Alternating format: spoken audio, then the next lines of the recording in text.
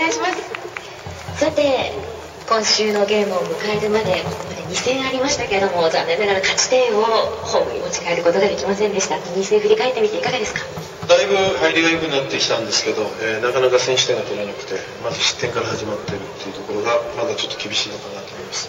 全体でバランス取ったり全体でボールを運んだりっていうのができるようになってきてるんで今日のゲームそれを十分に発揮できるように頑張りたいと思います。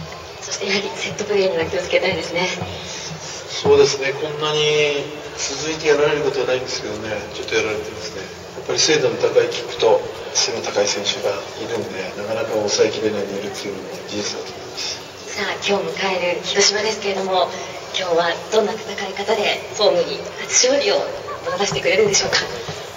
メンタルをしっかり持つということ配慮をしっかりする。でまず自分たちから選手点を取るということを大きな目標課題にしたいと思いますぜひ見て感じてください。さあ今日こそは共に勝ち点3をそして勝利の瞬間を楽しみに待っている多くのサポーターにメッセージをお願いします。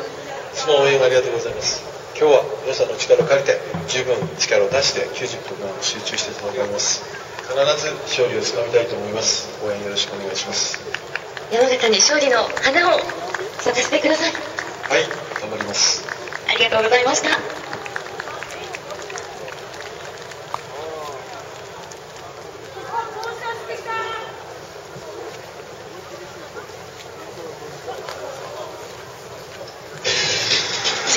te.